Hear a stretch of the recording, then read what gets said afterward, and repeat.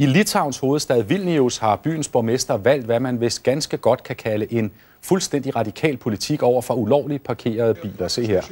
Problemet er øh, stigende, og på en video på byens hjemmeside viser borgmesteren, nu skal I bare se, hvad han overvejer at gøre. Han tager simpelthen en kampvogn og kører ind i, eller skulle vi sige, over bilerne. Problemet er til synligheden, at bilisterne har så mange penge, at de parkerer, selvom de får en bøde for det. Nu kan de komme på andre tanker.